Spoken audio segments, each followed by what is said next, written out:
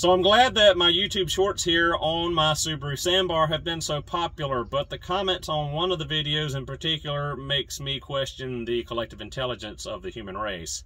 Uh, mainly the video talking about how a lot of the fluids are located in obscure spots in this truck because it being a cab over design uh, rather than, you know, our traditional vehicle and most of the fluids are in the cab or checked in the cab. The main one was the coolant and the radiator filter neck being under the passenger seat. The amount of comments I got about people saying they'd never ride in the passenger seat of this truck because they don't want a hot coolant enema. I mean, are you forgetting the seat bottom, the carpet, and uh, this cover?